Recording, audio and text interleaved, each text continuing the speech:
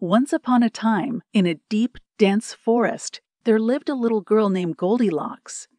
She was known for her golden locks of hair that sparkled in the sunlight.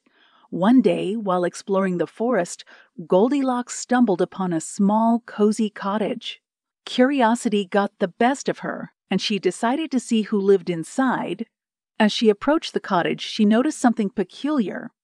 There were not three bears, as the storybooks always mentioned, but four bears. Goldilocks was intrigued. She cautiously entered the cottage and discovered that it was empty. The scent of porridge filled the air, drawing her towards the kitchen. On the kitchen table, she found four bowls of porridge one big, one medium, one small, and one tiny. Goldilocks, being a hungry little girl, couldn't re little girl couldn't resist the temptation. She tasted a spoonful from the big bowl, but it was too hot. She tried the medium bowl, but it was too cold. The small bowl was also too hot, but when she reached the tiny bowl, it was just right. Goldilocks happily finished the porridge in the tiny bowl and decided to explore the rest of the cottage. In the living room, she found four chairs one big, one medium, one small, and one tiny. Goldilocks tried sitting on the big chair, but it was too hard. The medium chair was too soft, and the small chair was just right. But when she sat on the tiny chair, it broke into pieces. Goldilocks frowned and decided to continue her exploration. Upstairs in the bedroom, she found four beds one big, one medium, one small, and one tiny. She climbed onto the big bed, but it was too firm. The medium bed was too soft, and the small bed was just right. However, when she climbed onto the tiny bed, it collapsed under her weight. Goldilocks sighed and wondered how these bears managed to live in such a mismatched cottage. Curiosity still burning within her, Goldilocks decided to investigate further. She walked towards a closed door she hadn't noticed before. Carefully, she turned the doorknob and entered the room.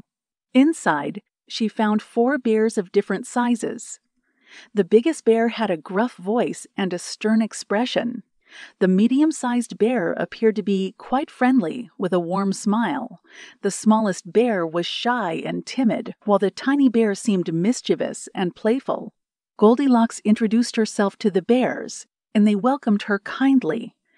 She asked them about the mismatched furniture and why they each had their own set. The biggest bear explained that they were a family of bears, but they had different preferences when it came to comfort. The biggest bear loved the firmness of the big bed. The medium sized bear preferred the softness of the medium bed. The small bear enjoyed the coziness of the small bed, and the tiny bear loved the excitement of the tiny bed, even if it meant breaking it occasionally. The bears laughed and shared their porridge, chairs, and beds with Goldilocks. They realized that their differences made their family unique and special.